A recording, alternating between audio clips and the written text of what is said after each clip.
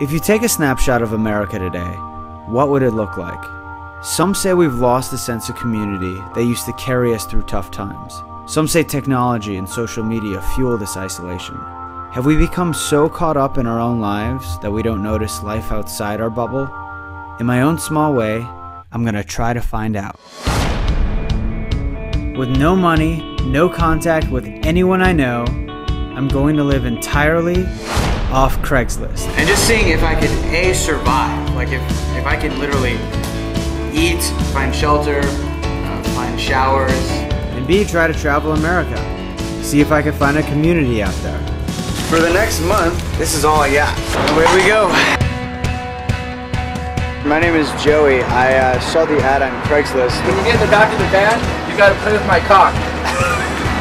I think after a week and a half, you're gonna snap. After four days, you're gonna be like, oh my god. I'm just looking for a Florida crush on tonight. I live with my parents. Yeah. I don't mind. I just haven't eaten all day. I'm getting a little lightheaded. I have a spare bedroom. The sheets were clean when I put them on the bed, but that was like two years ago. So this is happening?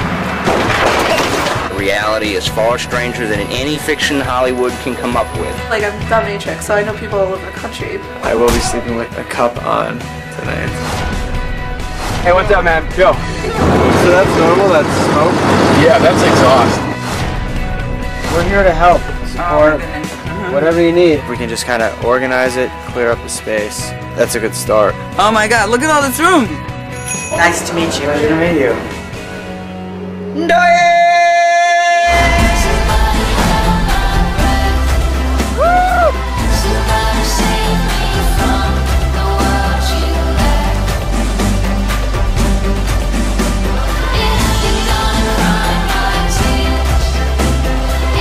Good job! Thank you so much, man.